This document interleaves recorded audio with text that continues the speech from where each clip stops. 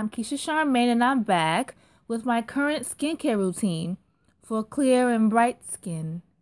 Some things have changed and some things have stayed the same, so stay tuned. Introducing aloe vera. If you have the plant, that's awesome, but the store bought gel is pretty good too. There are a bunch of uses and benefits for using this on your face. Now, it cools and soothes the skin, which is great for after exfoliating. It treats sunburns, it has anti-aging benefits, it's a natural moisturizer, natural cleanser. It can be used as a face mask or a spot treatment.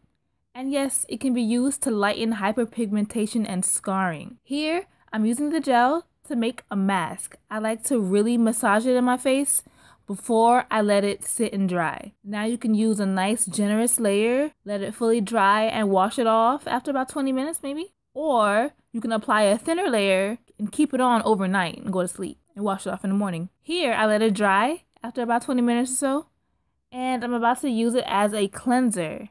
Now I swear by this brush. I've been using it for a long time now.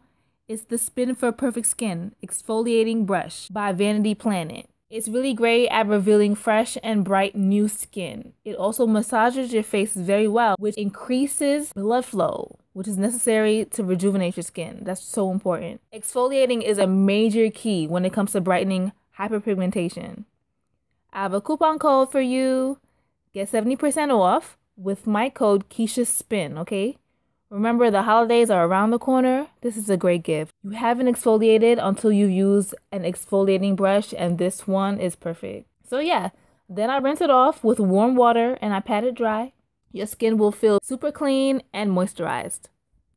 Also, I'm still using rosehip seed oil for healthy, youthful skin. It's great for correcting discoloration as well. For those of you who aren't for the natural solutions, you know, I use Palmer's Anti Dark Spot Fade Cream sometimes. This is a spot treatment. It won't lighten your skin in general. It'll only correct discoloration, okay? Very regular use of this cream has lightened the scar that I have on my cheek after a few weeks. So I like to go back and forth with natural solutions and the not so natural.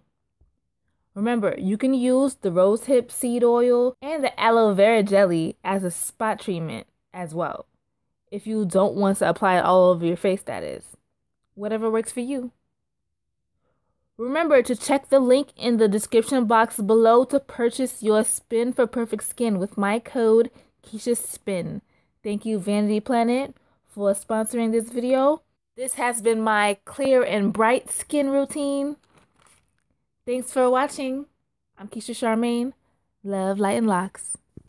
Hi everyone, I'm Keisha Charmaine and I'm back with another DNA test. So I took my first DNA test from Ancestry.com and the results really blew my mind.